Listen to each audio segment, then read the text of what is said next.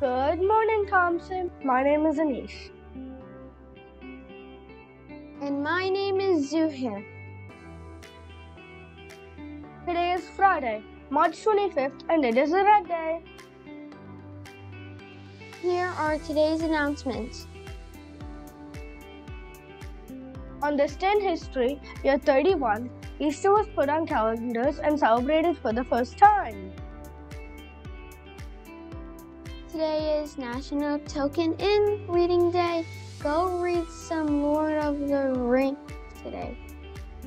On Monday, March 28th, 6th grade intramurals will be starting up again for the spring with some fun and exciting activities. If you did not give Miss Raskin a permission slip in the fall, you will need to fill out one so you can participate in the activities for the spring. The permission slip is on the school website or see Miss Raskin.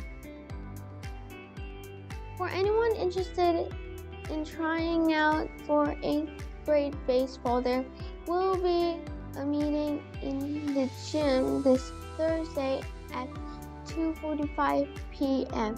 If you are planning to try out, you should attend.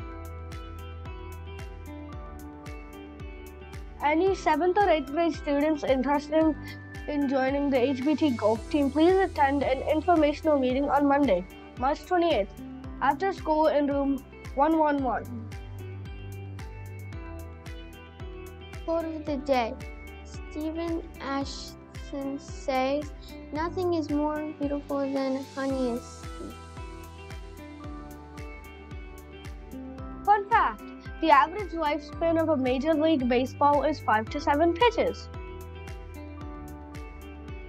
Joke of the day What's the longest word in the dictionary? Smile. It has a whole mile in it. These are the only announcements we have for this morning. Have a fun filled Friday.